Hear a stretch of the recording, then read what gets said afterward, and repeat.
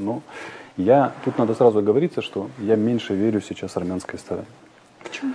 Потому что то информационную войну, как они пытаются вести, она не выдерживает никакой критики. По их данным, которые ежедневно публикует Министерство обороны Армении, они сбили уже 17 азерб- азербайджанских самолетов, а они вылетали один раз, и то парой.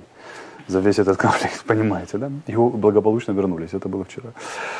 Ну, там количество танков, которые они подбили, они рисуют 500 штук уже. Да, то есть скоро у Азербайджана кончатся, кончатся танки, да, и они заново начнут их подбивать. Или около того. Там 5000 убитыми. Ну, абсолютно нереальные цифры там, да, и так далее. А это официальный орган. Я вот внимательно слежу за сообщениями сторон и третьих стран в этом отношении. Ну, я со стороны армянской не нашел пока, к сожалению, ни одного правдивого сообщения. Вообще ни одного. То есть и хочешь им верить и брать эти данные, но их приходится перепроверять миллионом способов. Ну, а кроме тех случаев, когда они вообще никакой критики не выдерживают, типа там 17 сбитых самолетов. Поэтому, конечно, берешь оттуда информацию, но, но с оговоркой. Начинается война.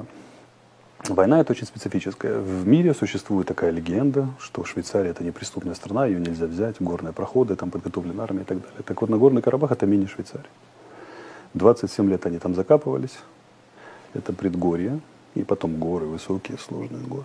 Конечно, можно взять военным путем, их это доказали армяне, когда они победили в 94 году и взяли военным путем армянская армия. Но с тех пор так были одни условия, сейчас там совсем другие. Эта оборона, она очень специфический характер носит. С одной стороны, основным инженерным средством там выступают шины. Такое шины? Там видно, у армян на позициях много шин. Так упаковано. Бетона меньше, шин много. Есть шутки, соответственно, спектр шуток в интернете о том, что украли все, весь бетон да, на строительстве, а надо было чем-то забелять, шины подвезли ширину этажей и так далее, и так далее. Целый комп- комплекс шуток. Ну, это такое, да. С другой стороны, то есть видно, что они под- подзапустили достаточно небрежно. С другой стороны, все равно это оборона в ключевых местах в горах. Все равно это оборона сверху вниз. То есть атакующие должны снизу вверх идти. Все равно там есть очень серьезные районы обороны. Все равно там все пристреляно и заминировано. И пройти это даже пешком, не под обстрелом, очень-очень тяжело. А если под обстрелом и не пешком, и снизу вверх, да против противника, который 27 лет в этом месте, и знает там каждую кочку. Что произошло за это время?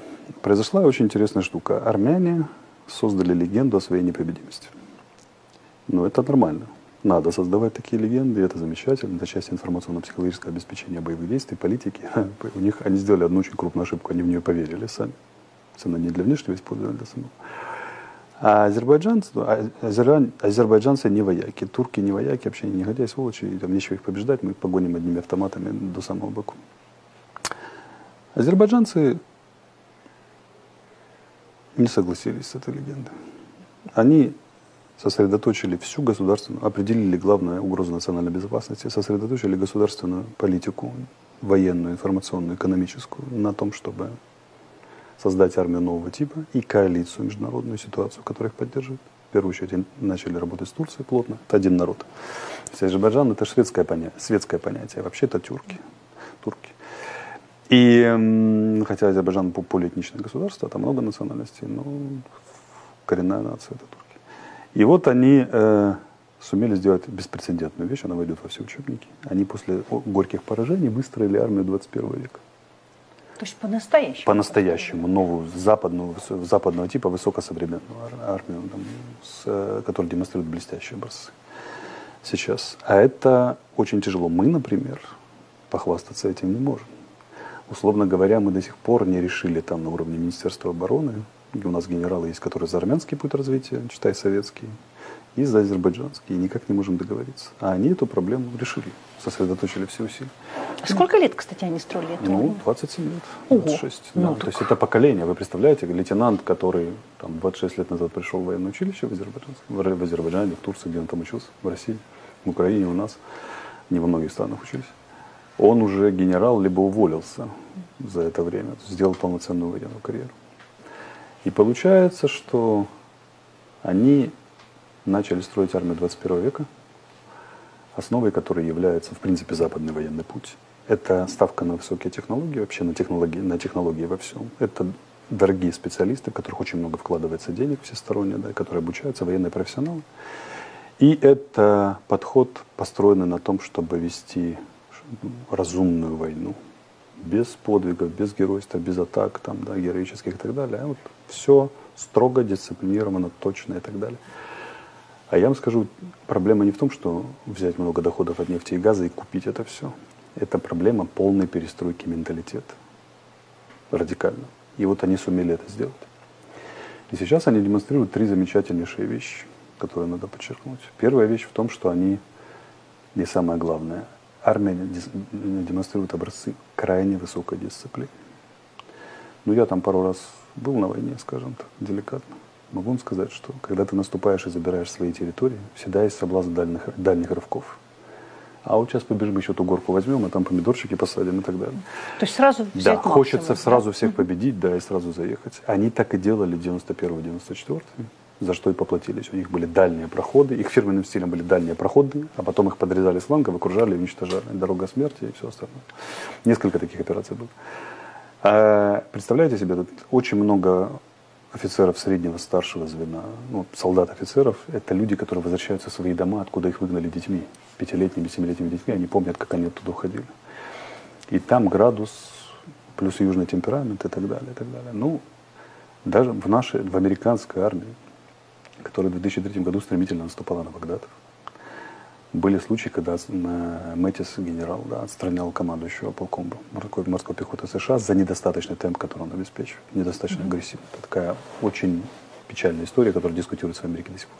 Они завязали это, армия завязла несколько раз американская, была куча проблем. Умкасром, городишкой, портом в устье реки, на побережье, имея тотальное превосходство, они его 7 дней брали и не могли взять. Несколько раз брали, откатывались. Это, там, это воевать трудно.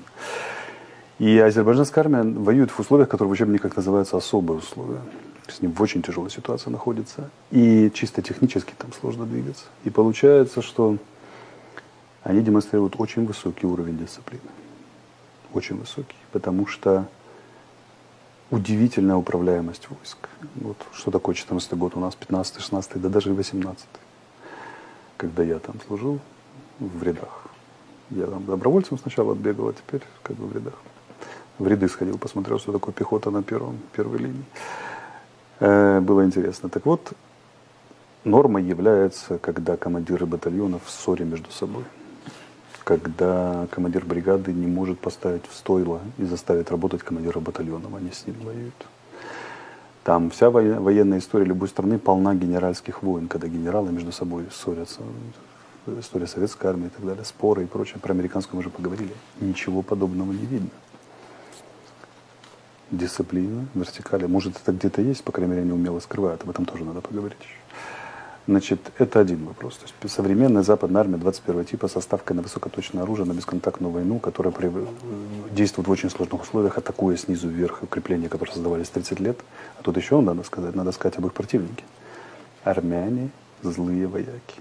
Они реально умеют воевать. Многократно это доказали. Они дали два десятка генералов и маршалов в войну, во Вторую мировую войну. Адмирала флота дали, хотя там нет, нет нигде воды. Интересно. Там в колодце только мог ее видеть и так далее. Как говорил Корчинский, до того, как стать адмиралом, мог видеть ее только в стакане воды, кружке с водой, эту воду. Получается, что ну, они доказывают, они сейчас доказывают это. Потому что о динамике мы событий тоже поговорим с вашего разрешения. И армяне, вернее, азербайджанцы в крайне сложных условиях воюют. Невозможно это сделать честь, может сделать честь любой армии мира, то, что они исполняют. А, это одна сторона. Вторая сторона. Их же третирует армянская пропаганда российская, французская. Французы заняли, будучи спонсором, все равно заняли проармянскую позицию там и так далее. Э, французы, да почему? Ну, французы столкнулись с Турцией в Африке и Средиземноморье Восточном, и теперь как бы я мстю, мстя моя страшна. То есть это скорее Турция, да, чем это да. Ну, они типа как вот вы тут, тут союзники, но вы сейчас получите от нас. И э, информационные. Получается, что, что говорят, что они возвращаются, чтобы геноцид осуществить и выгнать армянское население. А соблазн-то велик. Там же этнический конфликт, счета очень длинные, кровь очень горячая у всех сторон. И сейчас прорываются даже видео, где забивают азербайджанского солдата прикладом насмерть, пленного, ну, раненого армяне. Или там азербайджанцы показывают там трупы армянских солдат, мимо которых они едут. Э, там, и иногда ком- комментарии, те, кто знает язык, говорят, прорываются не самые лицеприятные, скажем. Вот. Там очень длинные щиты, хаджалы помнят азербай... каждый азербайджанец и, и так далее. Сумгаит, ну и, соответственно, армянские погромы в Баку тоже помнят. Там, и не видно расправ над пленными. Не видно расправ над местным населением. Хотя там местного населения не было, где они воевали. Но вот они дошли до Гадрута, а Гадрут это чисто армянский город. Уже там, ну, азербайджанский с армянским населением. Карабахе. До этого они там пустые кишлаки брали в основном.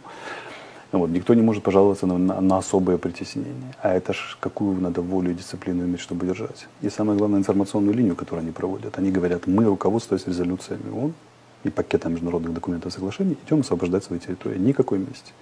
Алиев несколько раз заверял, что, что все армяне могут остаться, все мирные жители, кто желает. Выводите оккупационные, оккупационные войска, все оставайтесь жить и так далее. Ничего не тронем, окажем помощь, переселим, будем жить, учиться жить вместе, без всяких проблем. Потому что раньше я, их пропаганда тоже срывалась, азербайджанская, там вопросы личной мести там, и так далее. Ну, сейчас вот отомстим, выгоним и так далее. Сейчас даже народ, который пишет в интернете, не позволяет себе такого. То есть там произошел ментальный перелом. Что в комментариях обычно ругаются. У меня он под, под моими постами второй, второй фронт Азербайджана-армянского конфликта.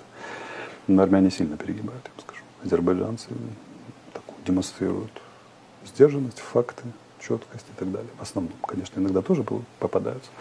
Но вопрос азербайджанцы или они, и все ли там армяне. Они, они разжигатели, но если армянским подписано имя, армянским алфавитом, то Хотя, ну, надо смотреть. В общем.